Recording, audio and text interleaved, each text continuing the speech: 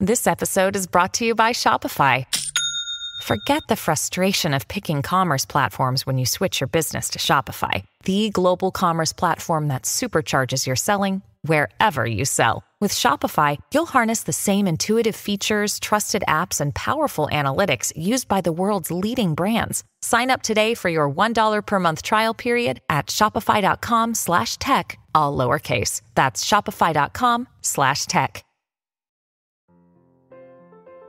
Get the little ones, sit back, relax, and listen to the Mutual Audio Network.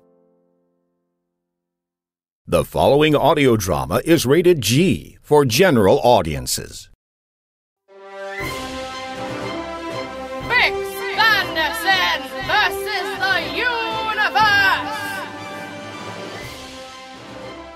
All new Out of This World adventure, written and read by Gregg Taylor, with additional voices by Clarissa Dernederlanden and Tessa Taylor, and Maxwell Taylor as Bix Banderson.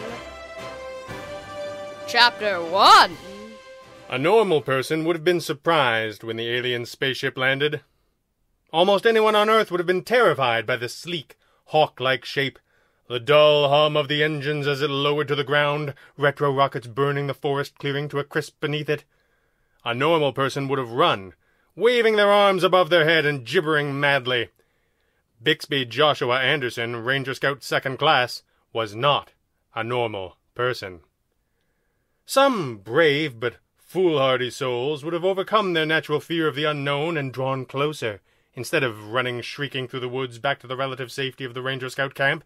However, even most of these courageous few would have remembered something else they were supposed to be doing very, very far away from there when the boarding ramp lowered and an actual alien landing force stomped down to the forest floor. Bixby Anderson just found himself wondering what had kept them so long.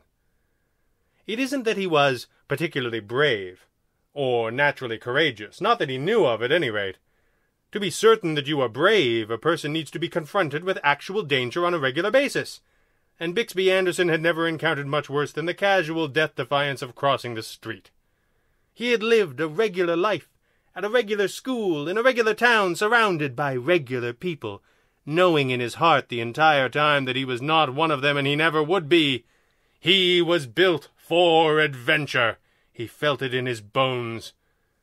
His parents, who meant well, thought that perhaps spending the summer of his eleventh year at Ranger Scout Camp would scratch their eldest child's itch for thrills and excitement.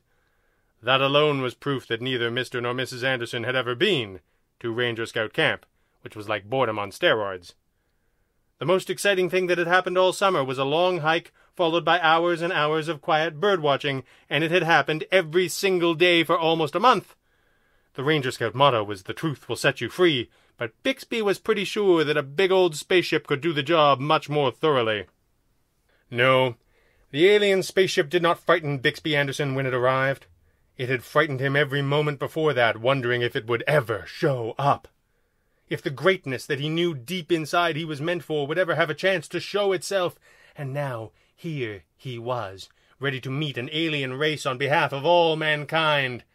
As the heavily booted feet marched down the gangplank, Bixby smoothed his neckerchief, checked his many wilderness survival badges that he had earned for such thrilling exploits as campfire safety and cleaning up after yourself, and prepared to make first contact on behalf of a deeply, eternally grateful human species. Bixby smoothed his hair a little.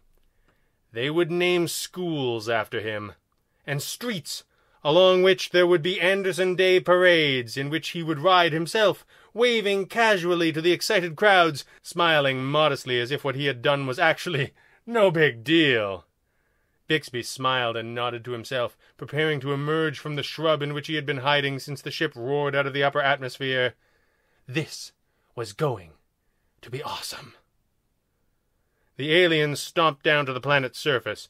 There were two of them, and they were shaped like humans in that they had two arms and two legs, though their arms seemed to be very long, and their legs were stumpy and thick.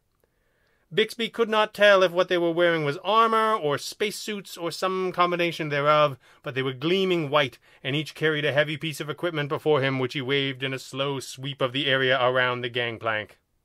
Bixby thought they might be taking readings of background radiation or atmospheric content, or any of the other things you might wish to know about an alien planet before you took a helmet off. Then there was, from the opposite direction, a loud snapping sound, like a tree branch had broken, or a deer had done something deer like. Bixby had to admit he hadn't been very interested in the doings of the local fauna while at camp, so he couldn't really imagine what that might be. The point is, it was a sudden noise from the opposite direction, to which his new best friends from an alien planet responded by quickly and dramatically pointing their heavy equipment in such a way that left no doubt they were actually carrying guns. Enormous, dangerous looking space guns. Bixby decided to wait in the shrub a little longer. That Anderson Day parade sounded less fun if the car was carrying a shoebox full of his charred ashes.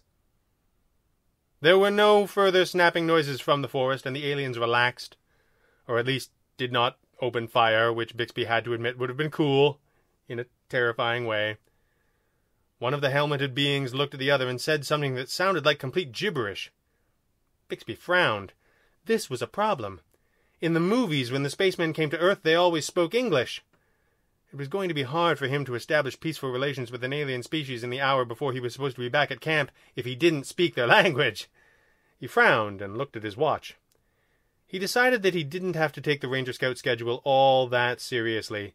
Nick Mendelson had once been 36 hours late and Ranger Dan had never noticed. And there had been a skinny kid in the first week of camp who said he would get home or die trying before he vanished into the woods.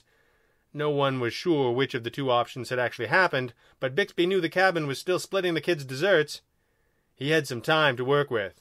He would just step out, nice and slow, with his hands in the air, and greet these travelers on behalf of the entire human species. One of the aliens turned back to the ship and shouted something unintelligible, and Bixby ducked a little lower. He was disappointed in himself. This was his moment. There was no turning back. He couldn't just snap a photo and run away. His camera was in his phone, and that was in the lockup back at the Ranger Scout camp, along with every other piece of technology more sophisticated than two sticks rubbed together. He had discovered something amazing, and it was time to stop hiding in a shrub and do something about it. A small door buzzed open in the side of the ship, and a robot rolled out onto the gangplank. The alien shouted another order, and the robot buzzed and chirped in response. Bixby was awestruck. He had always wanted to meet a robot. A real robot. Not a toy or a prop or something boring from a STEM class, but a cool machine like this one. It was low and squat, with four fat wheels that rolled quickly down the gangplank.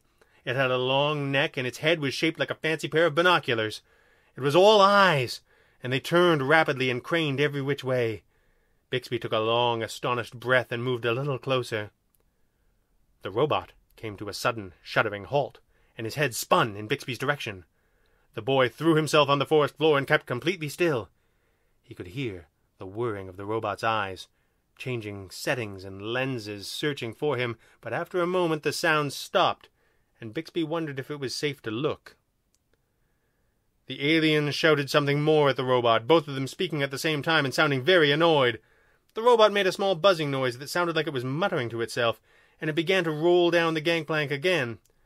Bixby lifted his head from the dirt, careful to keep the lower branches of the shrub between himself and the strange visitor. The robot started to follow the aliens, heading off to the left, but it almost immediately broke off and moved back toward the right side of the ship, which happened to be the side that Bixby was currently cowering on. The robot's wheels folded up, and a series of insect like legs folded out of its sides so it could scutter easily across the uneven forest floor. Bixby ducked his head again and tried to look as much like a rock as he could. He felt he was pretty successful for a moment, and then began to worry the robot might be planning on taking some mineral samples, and if that was the case, a rock was perhaps not the thing to be posing as after all. There didn't seem to be much he could do about this. He doubted he could pass for a flower, so he just kept still. The robot came to a halt within a few feet of Bixby, and the boy held his breath. He could hear the whizzing and buzzing again, followed by some rapid clicks as if the machine were preparing some sinister device. Bixby began to wish he had not started holding his breath quite so early, as he didn't think he could keep it up much longer. From somewhere that seemed far away, the alien shouted again, sounding very angry now. The robot sputtered quietly and completed whatever work it was doing. It turned its head a 180 degrees and prepared to scutter away back in the direction of the ship. Bixby peeked up and saw the robot holding a device in its pincers almost carelessly. It said something that sounded for all the world like, Oops, and let the device clatter to the forest floor, inches away from Bixby, and immediately crawled away quickly like a strange metal beetle. Bixby watched it go, astonished. That couldn't possibly have been an accident. The robot must have intended to drop that gizmo that was now laying in the undergrowth by Bixby's head, which meant the robot had to know that he was there, which meant the robot had not been planning on killing him at all. Didn't it? Bixby shifted to get a good look at the alien device. It looked like a set of earmuffs or headphones. There were a lot of electronics built into the part that went over your head, but it was unmistakably something you wore over your ears. Was Bixby supposed to put it on? What would happen? Maybe they would put his brain into suspended animation and he would be forced to live as the zombified slave of the aliens. That seemed likely.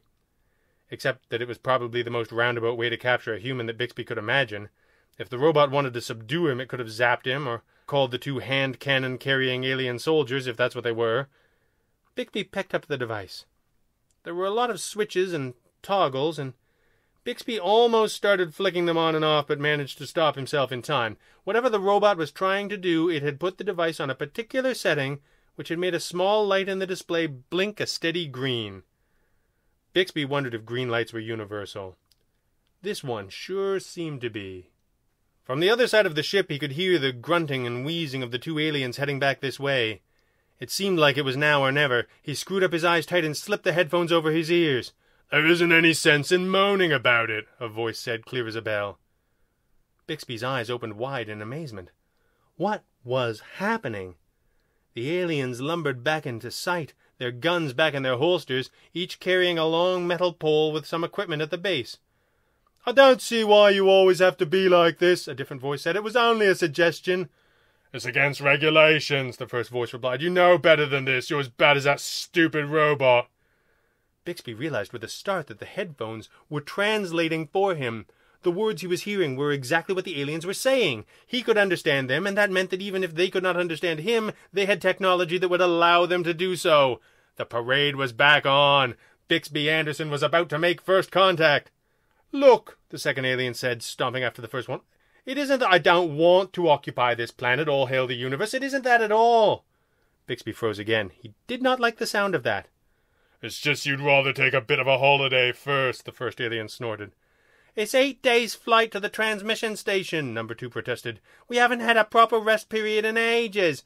We're a half day from SETI SETI 7, all hail the universe. Why don't we? You did it again, number one said crossly. You only all hail the universe when you're trying to whiffle past the rules. Oh, I never did, number two said, pointing his finger to emphasize his protest. You just find fault with everything I do. I find fault with treason, yes, all hail the universe. You only all hail the universe to make me look bad. You do a pretty good job of that yourself, mate. All hail the universe. All hail the universe, the second voice said emphatically. All I'm saying is the orbital stations have been collecting data on this rock for 400 years. What does it matter if we upload the data right away? What's another week or two? Section 9472, subsection Alpha Alpha 11, paragraph 9605, the first voice began officiously. Don't you quote the manual to me, you overweight gas bag. When a Class 6 planet has met all the necessary requirements for admission, the process for occupation and colonization shall proceed without delay, in order that its resources may better serve the universe. All hail the universe. All hail the universe, the second voice whimpered sadly. Without delay, the first voice emphasized. Yes, the second voice said petulantly. All hail the universe. All hail the universe. Bixby began to wonder if the translator was slightly broken, or if these two simply did not know what the word universe meant. Don't pout, the first voice said. You're ridiculous when you pout. I'm not ridiculous, you're ridiculous, the second voice said, but he was pouting, and it did make him sound fairly ridiculous. Look, as soon as we get these beacons planted, we'll get off this rock. We've got two more stops to make in this sector, then we break for the transmitter. Once we upload the data packs, the universe can send an occupying army to. The alien paused to check a clip screen. To Earth. Then you and I can rotate out for a period. Get a proper holiday on Frighten 4. The second alien sniffed. Frighten 4? You promise? All hail the universe, the first alien said, crossing a spot on his torso where his heart might very well be. Two weeks at the most, maybe ten days. Come on, the sooner we finish up, the better. The two aliens carried their burden away from the ship and out of Bixby's sight. Bixby was frozen for a moment. It suddenly seemed less likely that anyone would throw a parade over this discovery. The Earth was due to be occupied by an alien invasion force. As soon as these two goons reached their transmission station, their masters would know that Earth was ripe for the plucking. If the transmission were actually sent, that is. Bixby looked around for any kind of weapon for a moment, then dismissed that as ridiculous. What good would a stick or a pocket knife be against giant space guns? Bixby looked at the ship, gleaming in the afternoon sunlight. Maybe there were more guns on board. He began to creep quickly and quietly toward the gangplank. He could hear the two aliens coming back already. If he let them get away, there would be nothing that could stop the invasion of the Earth. He didn't know how to stop them now, but he could understand them. He could figure something out. The voices behind him were still bickering, and they were getting closer. He ran up the gangplank and into the cool darkness of the alien spaceship beyond. And six minutes and forty-two seconds later, Bixby Joshua Anderson, Ranger Scout Second Class, became the first human to fly beyond the moon. He wondered if anyone would ever know about it. Hello, I'm John Bell of Bells in the Battery, along with my associates, Arnie Kunch. I can introduce myself. Thank you very much. All right, Hi, I'm Arnie Kunchbard. that's it. That's it. And also, do you want me to introduce you, Brad? Well, of course, Mr. Bell. That's your job as host. Thank you, Brad. And I'd like to introduce Brad. Hold it. What? Here's your script. Script? Well, you gotta know what to say. All right.